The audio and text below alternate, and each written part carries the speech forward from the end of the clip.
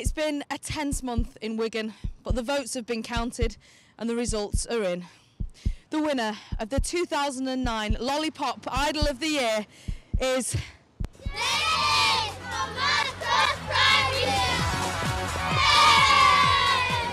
Dennis Getz has been a lollipop patrol for nine years. The competition was close, but it was the sheer volume of votes combined with glowing reports from the kids that secured Dennis the crown.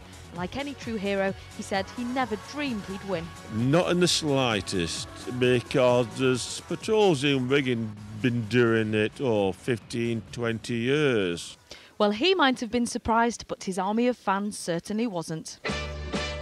Really shocked to be honest because um, he was he's probably the nicest lollipop man that I've ever ever seen Ever? ever.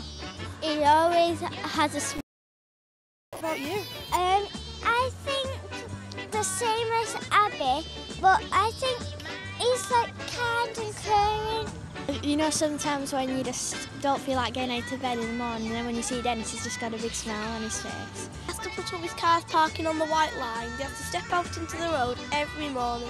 He comes, whatever the weather. Not easy that, Dylan, is he's it? No, he's always there with a smile. And what's his secret? Well, getting to know the children. Well, we're living locally, and being, I, I know lots of the children outside our school because quite a few of them live in the adjoining streets to me. Some actually live in the same street. They spend more time in ours than I do. Even those what's left have gone to high school, they still come and see you most nights. And lollipop man, you're always a lollipop man. So, Dennis, you've won uh, £300 of holiday vouchers and £200 spending money. What are you going to do with it? Probably weekend at Centre Park, something like that. All right, well, I'm free, you know. Well, don't tell the wife. Well, I won't if you won't. Right, well, Nina Warhurst, Channel M News.